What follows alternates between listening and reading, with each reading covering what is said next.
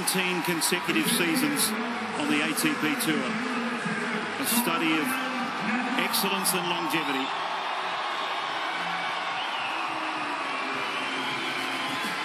Standing ovation for Nadal.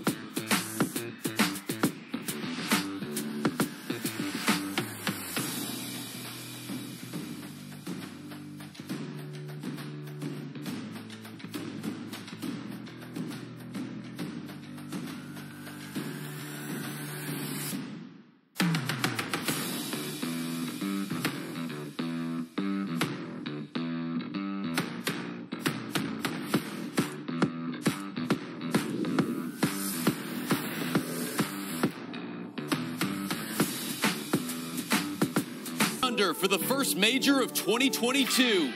And despite some notable absences, a collection of stars have aligned in Melbourne where history will be made over the next two weeks. We'll discuss the drama behind Novak Djokovic and how our experts feel this was handled. The world's top teenager has emerged from Spain. And we focus on which Americans are ready to make a move in Melbourne. Those stories plus more over the next two hours on this Australian Open edition of Tennis Channel Live, presented by Geico.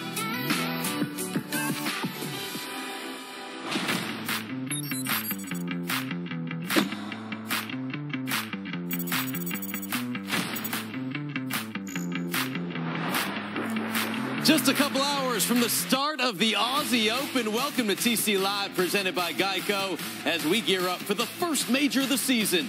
Australia is an island, and for the past two weeks, both Novak Djokovic and the tournament have been stranded. The Happy Slam turned into the Haphazard Slam, with the most decorated champion now deported, and a draw much delayed. But there is clarity as we now turn our focus to tennis Taking a look at the featured matches on day one on Rod Laver. Maria Sakkari, a top 10 seed here at a major for the first time. Naomi Osaka looking for her third title in Melbourne. Rafa Nadal, tough first rounder against the American Marco Schiavone. We've got the world number one, Ash Barty, says she'll give it her best crack to end an Aussie drought at home. Alexander Zverev opening up against a fellow German as we welcome up the studio to you. Come on in. TC Live, two hour pregame show every day, getting you set for the action down under. Steve Weissman, couple of Australian Open champions and Hall of Famers. We've got Martina Navratilova. We've got Lindsay Davenport. And from 60 Minutes and Sports Illustrated, we've got the great Jon Wertheim. It's great to be with all of you. And, and how about the fact that we're debuting a new piece of furniture? We've got a couch going on here. Reviews are mixed. we'll see how it goes in two hours. What, what, are we calling this? Like a half moon? The, the slouch couch. the slouch couch. we may need some pillows. yeah, I think I need a little support on my back here, but it's all good. It's nice. First time going four wide in the new studio as well. All right. It, it, it's good stuff. We're, we're, we're, spaced out, but, Could actually but very eat nice. and not bump yeah, That's true. Uh, of course, the big story heading into the Australian Open that's taken all the headlines, Novak Djokovic and this is the headline in the Sydney Morning Herald.